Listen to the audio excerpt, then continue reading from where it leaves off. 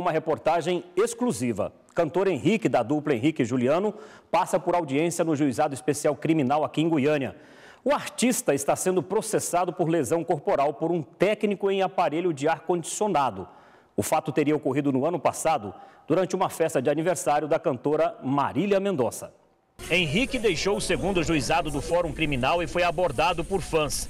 O cantor sertanejo, que faz dupla com o irmão Juliano, é acusado de agredir um técnico em aparelhos de ar-condicionado e aquecedores que trabalhava na festa de aniversário da cantora Marília Mendonça, que aconteceu em julho de 2018.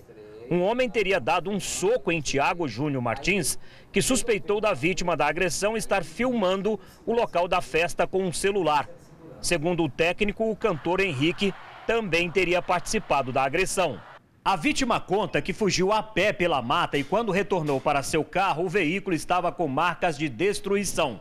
Logo em seguida, ele procurou a Polícia Civil para registrar um boletim de ocorrência. Na audiência de conciliação, as partes não chegaram a um acordo. Houve uma proposta de 10 mil reais, não foi, não foi aceita pelo Tiago nós tentamos uma contraproposta no valor de 20 mil reais, não foi aceito, aceito pelo, pelo cantor. O promotor então ofereceu uma transação penal em três meses, em oito horas semanais. O cantor alegou que é, tem uma, é, uma, uma vasta agenda de shows, uma extensa agenda de shows, e foi reduzido então é, para quatro horas semanais e seis meses. Mas mesmo assim o cantor também rejeitou a proposta. E o processo vai seguir o seu curso. Além de Henrique, outras seis pessoas suspeitas de agredir o técnico estão sendo investigadas. Agora, novas audiências serão marcadas para concluir o caso.